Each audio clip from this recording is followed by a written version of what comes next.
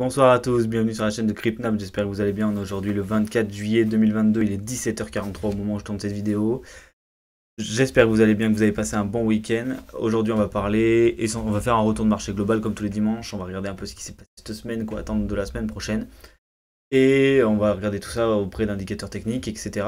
etc. comme d'habitude. On commence rapidement par le marché traditionnel. On est sur le SP500 là à l'heure actuelle. Euh, on a eu un breakout, on peut le dire, hein, de de ce double. Ouais, là on a un peu venu chasser les liquidités, donc on va parler d'un W potentiellement weekly si on, on a clôturé. weekly, puisqu'on a, on a clôturé. Non, il n'est pas en weekly, il est seulement en 3 jours. Donc euh, voilà, c'est quand même quelque chose qui est assez propre. Euh, ce qu'on peut espérer maintenant, du coup, c'est un retour dans la, au niveau de la première zone ici. Donc vous voyez, on a un petit creux dans la, dans la value, et là on a le premier arrêt au niveau des 4098 euh, points. Donc euh, c'est certainement une target qu'on ira chercher. Euh, je vais enlever un petit peu des choses pour qu'on voit bien. On voit qu'on est quand même venu pile poil euh, là où ben voilà, on avait les objectifs précédents. Donc de, toute cette zone, donc on est venu mécher dessus. et là on a un soupçon de rebond à l'heure actuelle sur le marché traditionnel. Donc pourquoi pas un retour au niveau des 4088 points dans un premier temps et voir si après il y a vraiment du jus ou pas pour avoir un petit rallye d'été, peut-être en zone de avec un retour en zone de rechargement short au niveau des 4367 points. Ceci, qu'est-ce que ça implique? Bah, Ça implique euh, bah, le Nasdaq euh, qui fait exactement pareil. Lui, il n'est pas chassé de liquidité. Hein. Il enchaîne des, il a fait deux W là, donc on en voit un beau ici, un autre ici. On peut, on peut en voir deux trois quoi. C'est plutôt sympa. Le Nasdaq, le, le dollar. Pourquoi ça arrive? Parce que le dollar est en train d'un d'afficher un peu de faiblesse, surtout qu'on voit en, daily, on a une petite divergence qui commence à se mettre en place sur le MACD. Elle n'y est pas encore sur le RSI, donc euh, pourquoi pas avoir une dernière poussée euh, après quand, euh, voilà, on verra bien. Potentiellement dans les prochains jours, potentiellement pas du tout, plutôt comme attendu de mon côté, plutôt côté septembre. Mais on verra bien de, voilà, de, de ce côté-là. quoi. Alors, le Bitcoin, on va passer au crypto quand même, c'est ce qui nous intéresse le plus, on va dire, euh, même s'il faut comprendre les marchés tradis pour aussi s'intéresser au crypto. En daily, pour l'instant, le MACD, euh, il commence un tout petit peu à diverger. Hein. Euh, on n'a pas encore eu un retour vraiment significatif vers le bottom pour dire qu'on valide la divergence, mais en tout cas, sur le Bitcoin, on a une légère divergence qui apparaît. Sur le RSI, pas du tout par contre. Donc voilà, c'est vraiment... Le RSI un peu plus euh, on va dire, réactif que le, mon MACD, parce que moi, mon MACD est un petit peu modifié. Et euh, voilà. J'ai deux, infos contradictoires euh, que je n'ai pas sur ETH, par exemple. ETH, lui, a validé sa, son, son W ici, voilà, joliment, avec un petit peu de volume. Bon, il y en a bien plus que précédemment, donc on va dire un petit peu de volume. Et voilà, une poussée sur le RSI, sur le MACD, donc c'est quelque chose d'assez sain. Euh, pour l'instant, on n'a pas touché la zone orange entre les 1703 et les 1782-42. Euh, je pense qu'on va y aller. Euh, parce que là, c'est une zone où il y a des mecs qui sont sous l'eau depuis un moment et qui vont potentiellement vendre ici. Puisque, ben voilà, 1700, c'était vraiment, si on regarde en weekly, voilà, cette zone. je ne sais pas si je vais arriver à la choper. Tac. Voilà, cette zone, vous voyez, c'était vraiment une zone très très intéressante précédemment. C'est ce qui a permis de faire un rebond lorsqu'on a fait le breakout aussi weekly euh, de ETH. Donc on est retour en 1007 avec Rally. Et là, on s'est tous dit, bon bah voilà, la 1007 c'est la zone à acheter. Finalement, on l'a briqué. Et là, euh, voilà, on vient faire un retest de cette zone. Donc euh, potentiellement, elle va agir en résistance hein, cette fois. C'est en tout cas ce à quoi je m'attends moi personnellement. Donc c'est pour ça que je ne serais pas étonné d'avoir une poussée sur ETH qui va par contre cette fois créer une divergence et du coup on va faire un retour parce qu'il y aura des vendeurs ce sera une zone qui sera considérée à la vente, ça, il faut pas en douter, c'est quasiment sûr. On va zoomer un petit peu maintenant, on va regarder en 4 heures, donc qu'est-ce qui s'est passé au niveau de notre petit BTC euh, BTC, il a fait un petit pump, euh, du coup, la semaine dernière, donc il a fait son, petit retour haussier, il a cassé son W, donc on peut dire qu'il a validé son W. On a eu un peu de volume, on n'en a pas eu autant qu'ici, mais on a eu un peu de volume, voilà, si on regarde euh, à l'échelle 3 jours, on a quand même une reprise du volume, là, récemment, ce qui est assez étrange en été, mais ça peut arriver s'il y a quand même pas mal de ventes et d'achats. Grâce à un indicateur un peu euh, que voilà que je vous présenterai pas là, mais un indicateur, on voit qu'il y a quand même beaucoup d'acheteurs et très peu de vendeurs. En fait, c'est plus des vendeurs qui, s'éteignent que des acheteurs qui d'un coup apparaissent en masse. Fait, j'ai l'impression qu'il y a moins moins de ventes en fait. Les gens ont quand même beaucoup vendu. Donc potentiellement un retour dans la zone verte. Après, ça ferait une sacrée poussée parce que ça voudrait dire que ETH lui retourne à 2000 et quelques dollars. Donc euh, c'est pour ça que j'y crois pas trop. Euh, bon voilà, tout le monde a vu en plus la réintégration du pattern. Bon, euh, en tout cas, ce qui est intéressant, c'est que la semaine dernière, en 4 heures, on est venu chercher les liquidations qu'il fallait qu'on vienne chercher, c'est-à-dire les petites zones rouges ici, tac tac tac, on est venu les manger, on a même grignoté les dernières ici, et ensuite on s'est retourné. Pour l'instant, on est sur, en 4 heures, on est sur des sommets descendants avec des creux descendants. Euh, à voir si celui-là on le valide ou pas, parce qu'on pourrait très bien un retour ici euh, dans cette zone et rattaquer au sud. Et du coup, ce qu'il faut euh, tenir, entre guillemets, pour avoir une suite de rallye d'été, ça serait vraiment cette zone rouge ici. Donc c'est une zone qui était, on va dire, la zone de, vente quand on était dans cette espèce de range ici. Donc c'était la zone de vente. Et ici, si on veut la valider, donc on voit que quand on a cassé, elle a fait support pour repartir. Si on veut euh, continuer à faire un, si on veut faire un nouveau plus haut ici, il faut que cette zone tienne. Donc moi ce que, ce que je vois bien dans les prochains jours, en tout cas, c'est un retour dans cette zone, sûrement au niveau des liquidations de ces points ici, pour liquider euh, quand même du monde. Et à ce moment-là, il faudra regarder si on a une nouvelle, euh, on va dire, un, une nouvelle pattern de retournement, parce que pour l'instant en 4 heures, il n'y a pas de divergence baissière. C'est-à-dire que le 4 heures indique qu'on peut très bien retourner dans cette zone.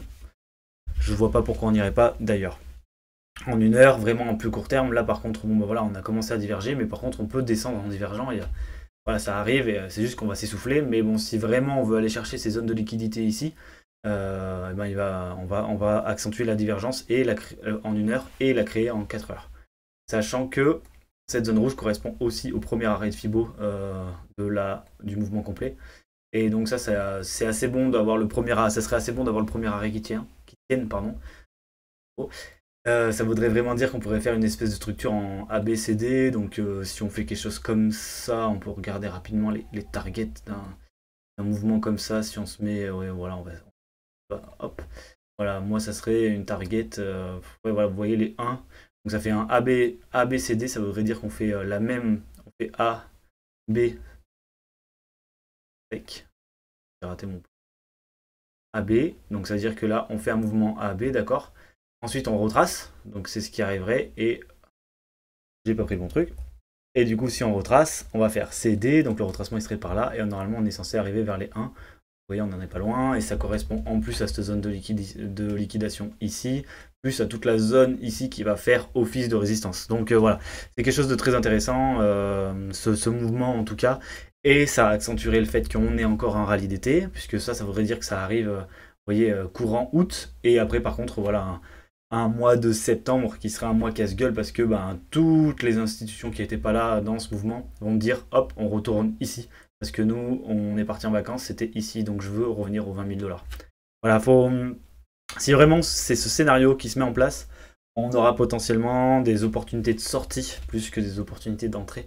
Euh, enfin, en tout cas, moi je le vois comme ça. Après, euh, chacun sa vision euh, au niveau, voilà, au niveau de scénarios, mais voilà, moi c'est vraiment un scénario que je vois comme ça dans ma tête. À l'heure actuelle, c'est mon scénario privilégié, mais euh, on peut très bien avoir euh, une remontée directe, hein, une cassure. Euh, bon, là, on risquerait de diverger très vite puisqu'on n'a pas beaucoup respiré. Et on peut très bien aussi avoir ici, on attend et puis finalement on a une, une, réattaque baissière et en fait on va, on va tâter les plus bas, hein, tout simplement. Mais en tout cas, c'est mon scénario favorable. Euh, en termes d'order flow plus court terme, depuis qu'on fait la descente euh, au niveau du Bitcoin, il se passe rien. Il y a juste eu euh, là récemment, il y a des shorters qui rentrent en position. des shorters, même si le funding monte, oui, parce qu'en en fait on est en train de liquider un petit peu des shorts. donc il y en a qui rentrent en même temps les liquides, donc le funding reste positif. Mais on voit bien la chute du ratio long avec une augmentation de l'open interest, donc ça veut dire qu'il y a des shorters qui rentrent en position sur Bitcoin. Donc on pourrait très bien les punir à court terme pour, ben, pour les chasser et puis rattaquer. Mais pour l'instant, on dirait qu'ils sont en train d'essayer de jouer le rebond sous ce sommet-là, sachant que pour moi, c'est pas un sommet puisqu'on a cassé ce plus bas-là. Donc, euh, donc euh, voilà, la zone ici des... Bah, en plus, on est pile poil sur les 22 995 à mon avis qui était office là-bas. Donc les 23 000 vont être tâtés à mon avis là à très très court terme. et on verra si voilà, on va liquider. Et mon scénario, ça serait de repartir pour aller vers cette zone rouge. ensuite, ETH. ETH, lui, il est plutôt euh, là depuis ce matin, à 2h du matin, on a vraiment une hausse des open interest avec une chute du ratio long. Donc beaucoup de shorters qui rentrent en position. On en liquide pas mal aussi, donc le funding reste assez positif, comme Bitcoin, mais c'est un peu plus agressif quand même au niveau de Ether. au niveau terres, il faut regarder, on va regarder, c'est vrai qu'on n'a pas fait l'analyse, mais en 4 heures, qu'est-ce qu'on a? On a, on a chassé les liquidités, donc là on a fait une sacrée divergence en 4 heures. Là, là, elle est, elle est, oui et non en fait un vrai vrai chartiste, parce qu'on va dire que je suis un faux chartiste, euh, un vrai chartiste dirait que ici il n'y a pas de validation de la divergence parce qu'on n'est pas venu casser le plus bas là. Donc il n'y a pas forcément de divergence et on peut très bien poser un W. Mais en soi, c'est pas très beau. En soi, euh, on est monté en divergence en 4 heures, en 1 heure on doit avoir des, divergences hardcore. vous voyez, là toute la montée elle s'est faite avec une énorme divergence. On a poussé très très fort pour aller chercher les, liquidités, donc euh, liquider des mecs. Et là, pour l'instant, euh, bah, on fait pas grand-chose. On a quand même posé un W. Hein. Vous voyez, on a divergé tout de suite. Hein. Quand il y a eu la chute, on a divergé tout de suite en une heure. Donc, comme si on voulait dire, euh, je veux aller dans cette zone. quoi. Donc, euh, potentiellement, là, sur une petite poussée du Bitcoin pour aller chercher, je sais pas, au moins les 23 000 et quelques là. Donc, un, retour dans la zone haute, on va dire, de la pattern, pousserait ETH certainement à liquider. Et c'est potentiellement ce qu'on cherche à, faire là à court terme pour aller dans cette zone orange. Et ah, par contre, ici, on risque d'avoir vraiment une, réaction forte euh, à la baisse. De toute façon, vous voyez, hein, il y a un énorme creux dans la value. Donc euh, là, c'est vraiment une poussée facile jusqu'au euh, bah, jusqu'au 17 028 dollars, à peu près, 17 030. Et là, par contre, on risque d'avoir un rebond très fort. Et puis, on voit que sur cette montée, on a laissé quand même deux beaux creux à 1004. Et à 1002, on n'est pas venu retater ici, en fait, le W qu'on a posé. Donc, potentiellement, on reviendra l'essayer voilà, si on fait une chute comme prévu en septembre, on reviendra l'essayer. N'oubliez pas qu'il y a le merge normalement en septembre. Donc euh, on pourrait très bien avoir un sell the news et donc dire que les marchés chutent parce qu'il y a le sell the news. Mais voilà, soyez préparés à ça. Je vous ai montré sur Bitcoin, il y a des rallyes et chaque fois en septembre on a une chute. Donc euh, la chute, elle aura rien à voir avec le merge. Mais tout le monde vous dira que si elle a lieu, tout le monde vous dira qu'on fait un sell the news. Quoi. Donc on a vu ça. Et ensuite euh, voilà euh, pas grand chose à dire sur les open interest des alt euh, au niveau de l'order flow donc là je suis en 15 minutes. On voit que sur la descente du bitcoin on a un peu voilà on a de l'augmentation de la redescente. On est on est plutôt en train de stagner on est plutôt en attente sur les altcoins de, de, voir une décision claire. C'est vrai que si on repart à la hausse on risque d'avoir un FOMO sur les alt comme on a eu en fait tout simplement quand on arrivé ici hein, quand on arrivé tout en haut là on s'est dit oh ouais vas-y on va et du coup ils se sont fait rapidement punir hein. on a des grosses liquidations. Donc là vous voyez on liquide des shorts les gens sont ultra boules, ils, commençaient, ils faisaient qu'ouvrir des positions de façon longue. Et là, ils se sont fait punir euh, radicalement. Donc, euh, c'est pour ça que je vois bien une rechute du Bitcoin au moins au premier arrêt pour vraiment punir les derniers rentrants sur les alts et sur ETH notamment. À voir si euh, je me trompe ou pas, mais en tout cas, c'est le scénario que j'ai joué. potentiellement, le scénario à jouer cette semaine. Ouais, au moins un retour ici et une retentative pour retour dans la zone rouge pour avoir une divergence ensuite en 4 heures. J'espère que j'ai été assez clair aujourd'hui. Euh, oubliez pas, mardi, on se, retrouve sur le Discord des bières où on va parler justement des résistances, supports, etc. Donc apprendre à tracer une résistance, à tracer un support, vraiment du, basique. Mais vous, comme vous voyez, moi je m'en sers tout le temps en fait.